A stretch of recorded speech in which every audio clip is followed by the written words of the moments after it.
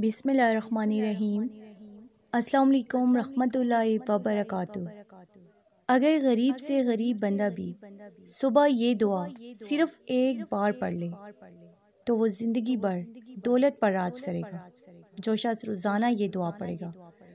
तो इन ये ऐसी दुआएँ कि अगर कोई सुबह सिर्फ़ एक बार या तीन बार रोज़ाना ये दुआ पढ़ेगा तो उसे अल्लाह पाक गैब से अपने ख़जानों से रिस्क देगा।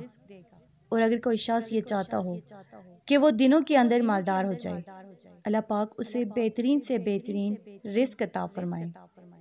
इतना रिस्क अता फरमाए कि जो उसकी नस्लों तक कभी ख़त्म ना हो।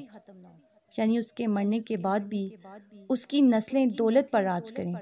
किसी की मोहताज ना हो। उस घर में दौलत का ढेर हो। घर से मोहताजी दूर हो। रिस्क की तंगी दूर हो। शैतान उस घर से दूर हो। उस घर से बीमारी दूर हो, बेबरकती दूर हो, नाहुसत दूर हो, गम, परेशानियाँ, फिक्रों से वो आज़ाद हो। तो सुबह के वक्त ये कलमात, ये दुआ लाजमी पढ़ें। नबी पाक सल्लल्लाहु अलैहि वसल्लम ने अरशाद फरमाया, हज़रत इब्ने बास रज़ी तहों से मरवी है। फरमाया कि जिसे गम और अफकार गेल लें तो उसे चाहिए, ला हौला वला कुवता इल्ला बिल्ला का विद इंसान को गमों से आज़ाद करता है।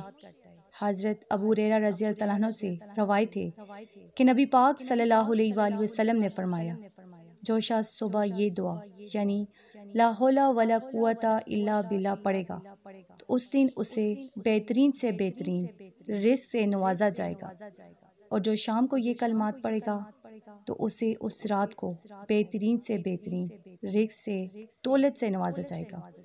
और वो बुराइयों से हमेशा महफूज रहेगा, क्योंकि जो शख्स ये कलमा पढ़ता है तो शैतान उससे दूर हो जाता है।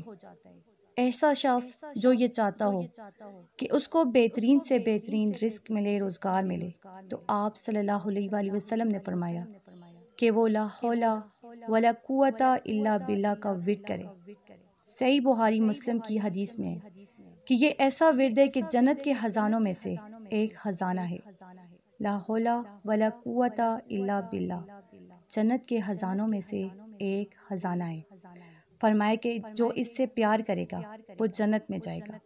तरमजी की रवायत में मजकूर है कि ये जन्नत के दरवाज़ों में से एक दरवाज़ा है। और एक रवायत में है कि लाहौला वला कुवता इल्ला बिल्ला के साथ हर बार एक फरिश्ता उतरता है। जब भी कोई ये पढ़ता है ला हौला वला कुवता इल्ला बिल्ला तो हर मर्तबा, एक फरिश्ता आसमान से दुनिया में नजूल करता है और ये फरिश्ता क्यों उतरता है? बीमारों को शिफा देने के लिए लाहौला वाला कुवता इल्ला बिल्ला जब भी आप पढ़ेंगे तो आपको सेहत देने के लिए अल्लाह ताला आसमान से एक फरिश्ता नाजिल कर देता है। इल्ला बिल्ला।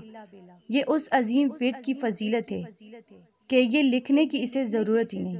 ये हर किसी के दिलों में लिखा हुआ है और ये सबको ज़ुबानी याद भी है। ये वो दुआ है जिससे सत्तर बुलाओं से आफियत मिलती है। ये वो विरद है जो ये विरद पढ़ता रहता है। वो सत्तर बुलाओं से आफियत हासिल करता है। हज़रत अनस बिन मालिक रज़ी तु की रवायत में है कि मेरे आका सल्लल्लाहु अलैहि वसल्लम ने फरमाया कि जो शख्स बिस्मिल्लाह ला हौला वला कुवता इल्ला बिल्ला इल हली ये लजीम दस बार पड़ेगा। तो वो गुनाहों से ऐसा पाक और साफ़ होगा। जैसे कि आज ही माँ के पेट से पैदा हुआ है। दुनिया की सत्तर बुलाओं से महफूज हो जाते हैं। इमाम तरीमजी ने लिखा है कि हज़रत अबू रेरा रज़ी तु से रवायत है कि मेरे आका सल्लल्लाहु अलैहि वसल्लम ने अरशाद फरमाया कि लाहौला वला कुवता इल्ला बिल्ला इल हली ये लजीम को ज़्यादा से ज़्यादा पढ़ो। इसलिए कि ये जन्नत का ख़जाना है।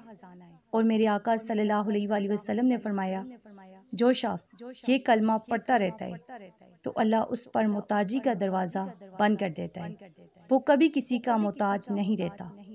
ये वे पढ़ते रहें, क्योंकि जो कोई ये कलमा कहे तो ये निन्यानवे मर्ज की दुआ है।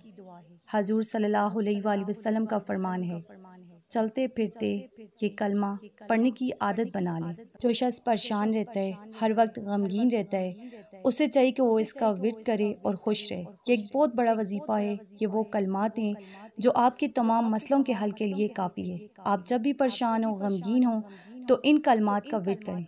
इन आपकी बड़ी सी बड़ी परेशानी दूर होगी। इन कलमात को जो शख्स पढ़ता है तो सारा दिन फरिश्ता उसकी हिफाजत करता है उसके लिए इसबाब पैदा करता है उसके रास्ते में आने वाली हर रुकावट को दूर करता है। तो आप भी अपनी सुबह का आगाज़ इन कलमात को पढ़ कर। करें। सिर्फ़ दस मरतबा एक मरतबा या तीन मरतबा या एक तस्वीर जितना पढ़ना चाहें। लेकिन इन कलमात को लाजमी पढ़ें। अपनी ज़िंदगी का हिस्सा बना लें इन इस अमल के मोजात कमलात देख कर आप हैरान होंगे और इसको पढ़ना कभी न छोड़ेंगे। तो आप भी इस अमल को लाजमी करें इसे शेयर करें। वीडियो को लाइक चैनल को सब्सक्राइब करें। जजाकल्ला